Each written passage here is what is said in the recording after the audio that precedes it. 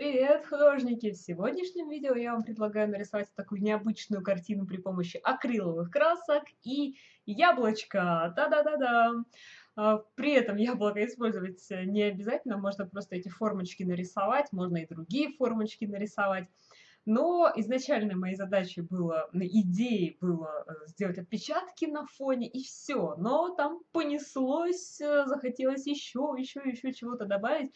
Поэтому э, дальше вы увидите такое многослойное нанесение краски, на поверхность холста и попробуйте тоже это сделать. Удобнее всего именно акриловыми красками, потому что они подсыхают, становятся как похожими на такую пленку, и после этого легко наносить следующий слой. Но здесь очень важно подождать, когда этот самый слой, первый или второй, или 51 или 52 подсохнет, и после этого наносить следующий слой.